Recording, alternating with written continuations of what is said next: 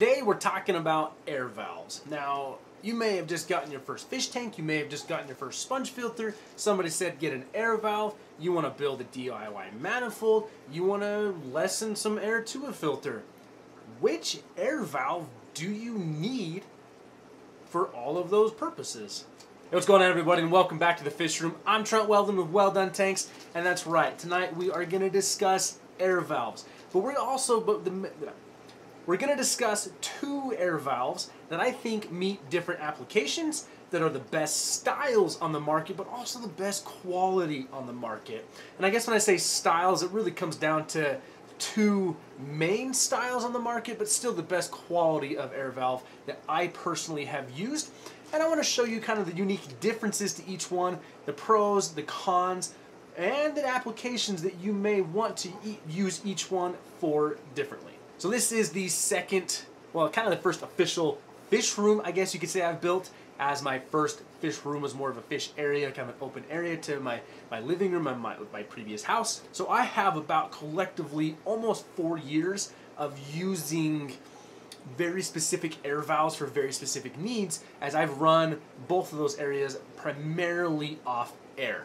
Uh, the fish room we're in right now has 30 tanks and I've got a lot of air running through the fish room because it is run by the linear piston pump uh, provided to me by Aquarium Co-op, so sponsored with me from Aquarium Co-op.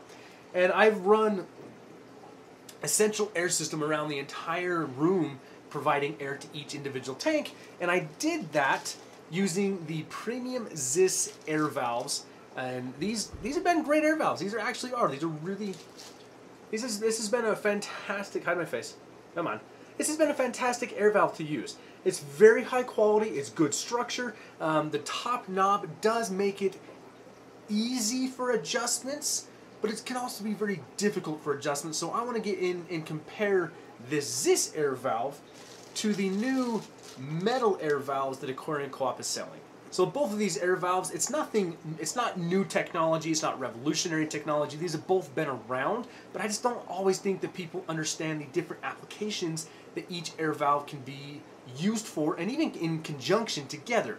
So I say, I built my entire fish room using the, uh, the Ziss Premium Air Valve. I followed the uh, instructional video done by Cory and Dean teaching you how to make your own DIY air gang valve using these with a friction fit on PVC pipe in my previous fish, I, still caught a fish from my old house. Um, you can find videos of that on my channel. I use the nickel plated, uh, the metal air valves. And, you know, actually you're threaded on one end. Jeez, I forget, it's got to focus.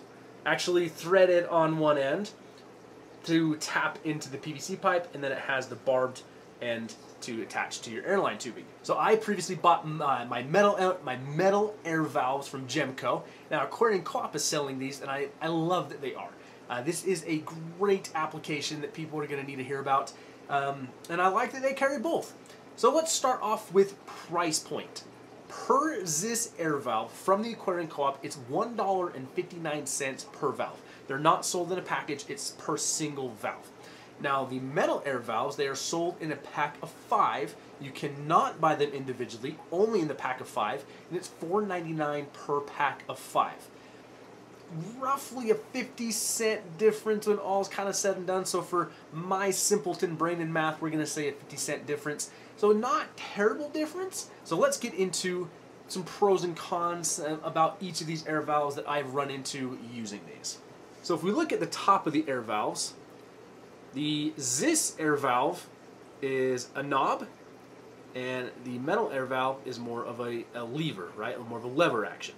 So this, they each are their own worst enemy.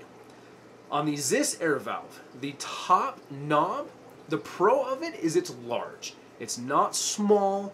It's not poor quality like the ones you're going to find in like Petco's and PetSmarts it's actually very good quality and that knob can allow you some fine adjustments and it's easy to reach because it's big. Now, the con of that, you have to twist it and turn it and pull it and punch it and kick it a lot to get some fine-tuned adjustments. It is a long extension on that to make that happen, so that's my con against it. Now let's move over to the metal one. Pro, I love the metal lever because I love it is the reason It allows you to make fine tune adjustments without turning something a thousand times over. Now, the con, again, is its own worst enemy. The con of it. If you built your air system like in my previous fish room where all the air line is run up on the ceiling, very difficult to reach, very difficult to get to, and sometimes it was almost difficult to turn because it is so small. So now let's get into some applications of each air valve because they are built for different things but can even be used in conjunction. So again, let's start with the Ziss air valve. The Ziss air valve can be used in a DIY air manifold setup. I've used it again. Every sponge filter in the fish room right now is run off a Ziss air valve. Now what this is gonna do is I've got air pumping through all the PVC pipe. I attach to the PVC pipe with the air valve and then when it goes down into the tank, I can actually fine tune how much air is going to that sponge filter. Now the reason I want to do that is if unregulated, you can just have a roaring sponge filter really boiling the water surface and causing a lot of movement in the tank.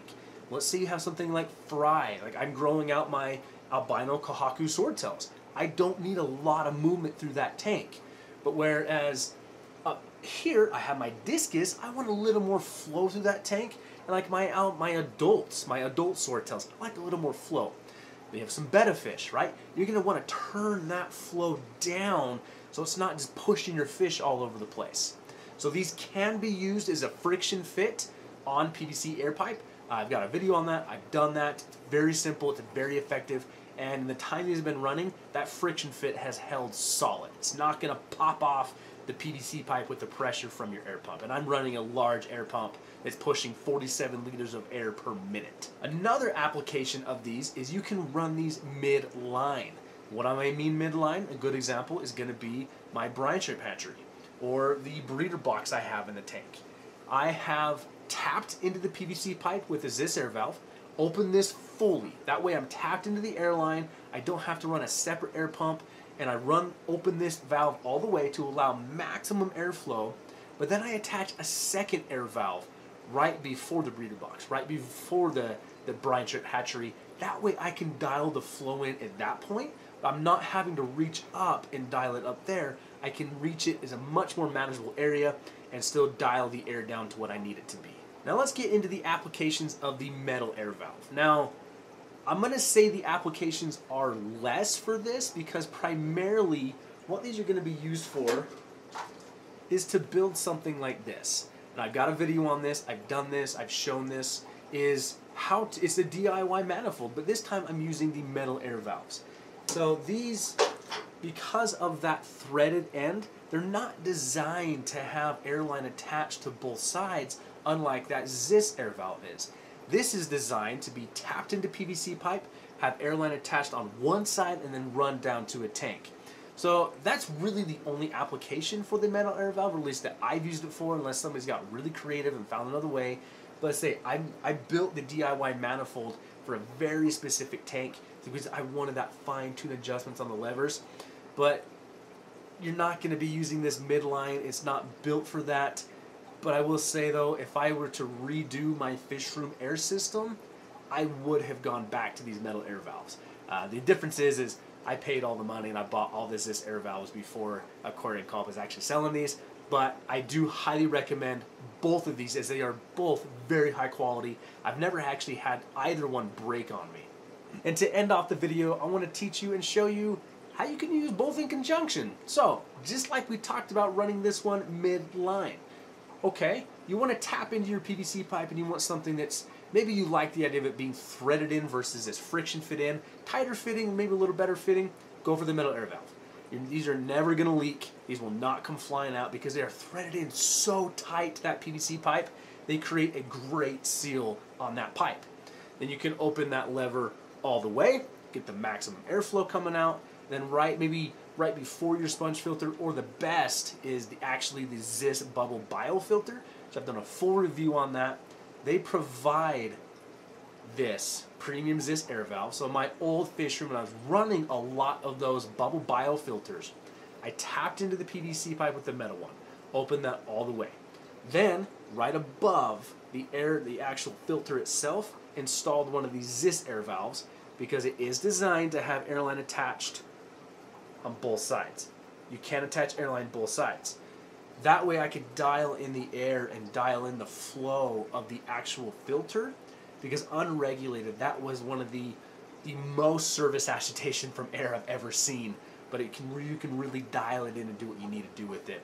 So you can run these separate, you can run them together, but again, I still highly recommend both of these, and you can purchase both of these from the Aquarium Co-op. So I hope that helped someone at least understand the applications for both a plastic air valve and a metal air valve. Now again, not new technology, but both of these are going to be some of the best quality you can find on the market. Um, I've never had a Ziss air valve break, and I've made a lot of adjustments on these. And the metal air valves is one of the easiest to install, and just a set it and forget it type of thing. And the metal is just almost a peace of mind. And then running together, they work great. So leave me a comment down below. Have you experienced the Ziss air valve? Have you experienced the metal air valve? And what's your thoughts on either of these? I'm also very curious to hear how you're running your air system if you are. So again, thank you so much for joining me. Leave me a thumbs up and hit the subscribe button on the way out, and we'll see you guys on the next one.